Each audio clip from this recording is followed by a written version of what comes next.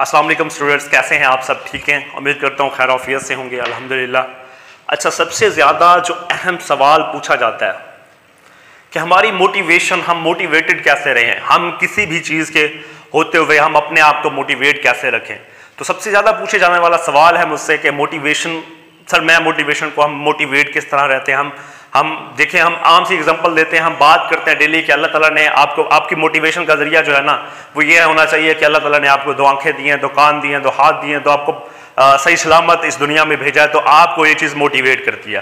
تو بالکل یہ جگہ چیزیں جو ہیں ساری درست ہیں، یہ ساری باتیں ٹھیک ہیں، یہ ساری باتیں موٹیویشن کا ذریعہ ہیں۔ آپ اگر مایوسی کی طرف جاتے ہیں تو یہ آپ کو موٹیویٹ کرتی ہیں، جب آپ انالیسس کرتے ہیں۔ لیکن میں یہاں پہ آپ کے ساتھ چھوٹی سی بات شیئر کرنے لگا ہوں، ایک فارمولا شیئر کرنے، جملہ جو ہے وہ شیئر کرنے لگا ہوں۔ جو مجھے انٹرنلی موٹیویٹ کرتی ہے، وہ آپ کو بھی انٹرنلی موٹیویٹ کر سکتی ہے۔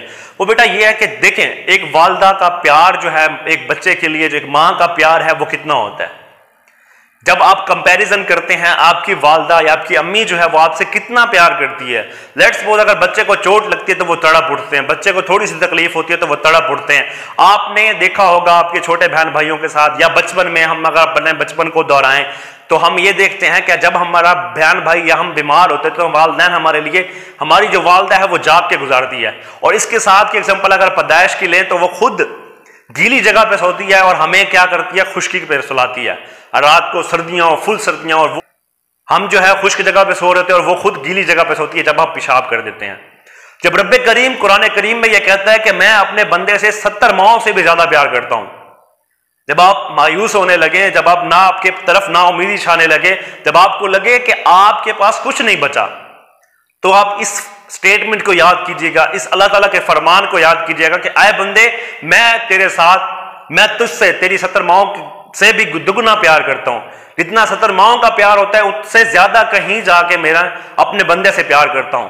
تو جب یہ چیز مائنڈ میں آتی ہے، جب یہ چیز آپ یاد کر کے چلتے ہیں، تو آپ کو ڈی موٹیویشن مایوسی نا امیدی آپ کے راستے سے نہیں گزرتی۔ تو آپ کو انٹرنلی ایک جملہ یاد رکھ لیں، ایک جملہ جو ہے اپنے مائنڈ میں رکھ لیں۔ کہ اللہ تعالیٰ خود فرما رہا ہے کہ اے بندے، میں تجھ سے ستر ماہوں سے بھی زیادہ پیار کرتا ہوں۔ تو جب یہ چیز آپ کے مائنڈ میں ہو تو آپ کو انٹرنلی موٹیویشن جو ہے وہ ملتی ہے۔ آپ موٹیویٹڈ رہتے ہیں۔ آپ ہمیشہ کے لیے موٹیویٹڈ رہتے ہیں۔